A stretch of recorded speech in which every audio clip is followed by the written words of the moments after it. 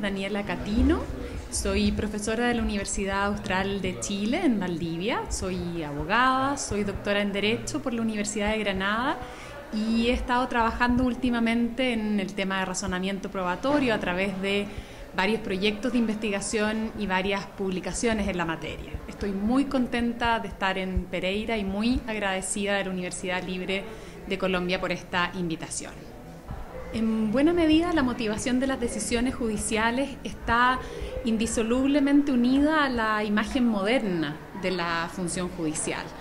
Eso lo podemos apreciar muy fácilmente si pensamos en lo autoritaria y despótica que nos parecería una decisión judicial que se nos impusiera sin explicarnos, sin justificar cuáles son las razones de la decisión. De alguna manera, a, través de la motivación de las decisiones judiciales se realiza la idea de que estamos sujetos al gobierno de las leyes y no al gobierno de los hombres. No es eh, que el juez, ¿no es cierto?, imponga la decisión que simplemente a él le parece justa. Él tiene que basar su decisión en razones públicas, en razones que estén expuestas al control, que estén expuestas a la crítica y que podamos reconocer como razones comunes, como razones intersubjetivamente válidas. La ley, ¿cierto? En, la, en cuya aprobación participamos todos como ciudadanos, la constitución como norma fundamental y constitutiva de la comunidad y también respecto de la decisión sobre los hechos, razones que valgan para todos, razones que se refieran a las máximas de la experiencia, a los conocimientos científicos y no simplemente al capricho o la discrecionalidad del juez.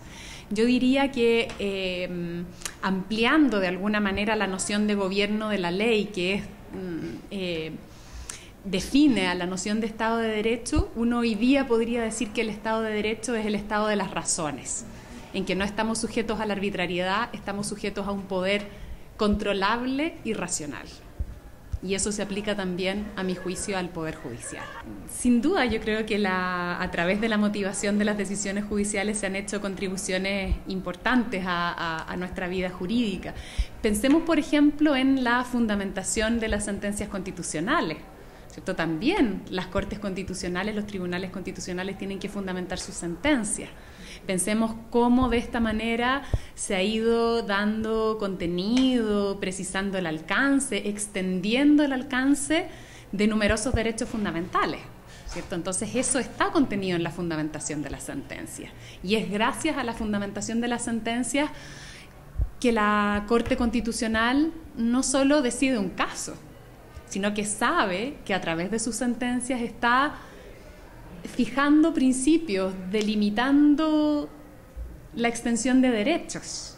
Y eso es sin duda muy importante y ha sido muy importante en el, en el progreso de nuestro sistema jurídico. En el, en el terreno de la, de, la, de la, prueba y del razonamiento probatorio también, en la medida que la motivación de las sentencias expone esas razones a la crítica pública, ¿cierto? uno puede ir observando cómo se consolidan ciertas pautas o criterios de racionalidad en la valoración por vía jurisprudencial. En buena medida, sin motivación de las decisiones judiciales no podría haber jurisprudencia. Y la jurisprudencia de los tribunales hoy día es un componente fundamental de los sistemas jurídicos. No se entiende el derecho sin la contribución de la jurisprudencia. No se entiende el estudio del derecho sin que los estudiantes conozcan y, comprendan la jurisprudencia de los tribunales. Los avances de la ciencia y de la tecnología ciertamente eh, imponen desafíos muy, muy significativos en el, en, el tema probatorio. Em, en la medida que exponen al juez, eh, en primer lugar, a una serie de eh, técnicas de las que, sin embargo, mm, nuestra formación jurídica poco se hace cargo. Entonces, obligan o, fuerzan también a la formación jurídica y en particular a la formación judicial a hacerse cargo de la necesidad de que los jueces cuenten al menos, ¿no es cierto?, con una formación en los conceptos básicos de las ciencias y de las técnicas forenses que les permitan eh, no renunciar a su rol como evaluadores y como evaluadores de esas pruebas. No puede ser que el juez, ¿no es cierto?, se someta simplemente a un dictamen pericial o a una prueba técnica, a sus resultados, sin realizar una evaluación crítica de esa prueba. Y sin embargo, paradójicamente, esa prueba existe porque supone un conocimiento técnico que el juez no posee.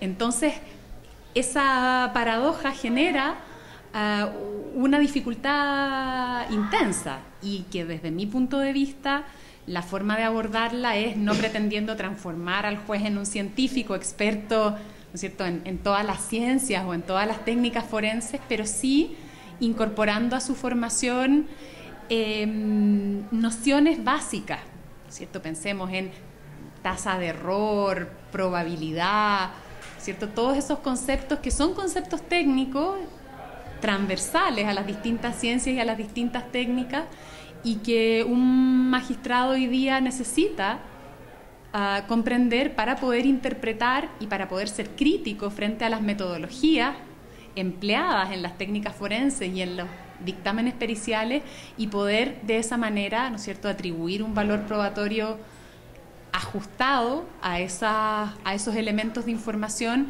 manteniendo su papel de juez y su papel fundamental de decisor.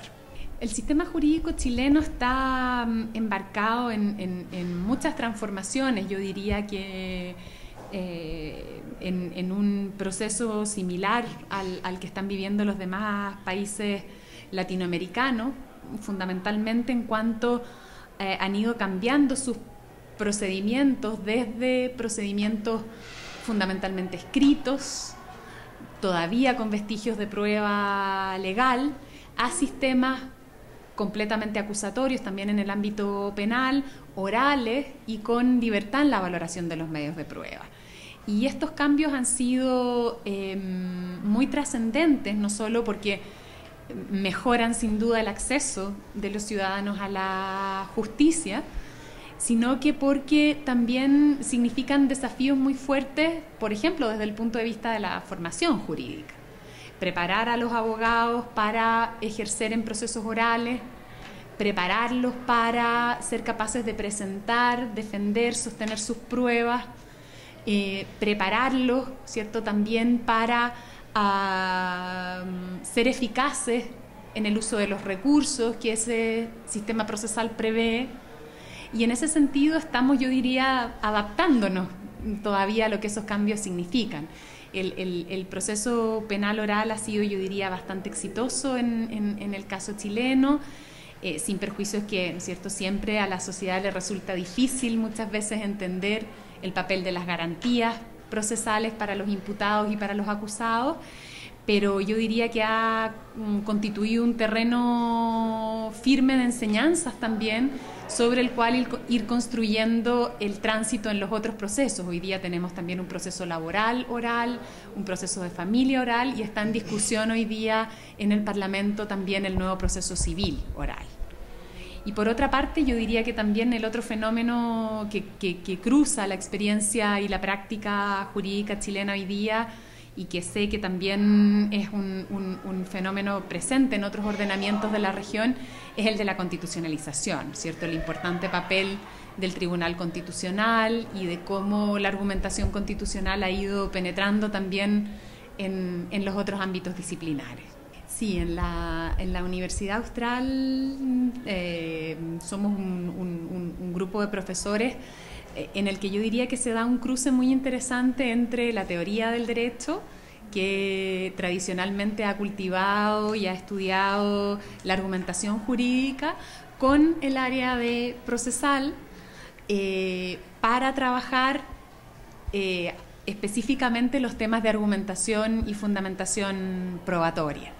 Y creo que esa interrelación es muy fructífera eh, porque permite de alguna manera, ¿no es cierto?, aplicar, aterrizar, como se suele decir, eh, los planteamientos teóricos de la filosofía del derecho a casos concretos y también al lenguaje concreto de los operadores jurídicos, pero por otra parte también permite desde el punto de vista del derecho procesal eh, encontrar ¿cierto? un fundamento sólido eh, a través de la epistemología, la filosofía de la ciencia, para los planteamientos que se hacen respecto de qué significa razonar correctamente, qué significa argumentar correctamente en el ámbito de la, de la prueba.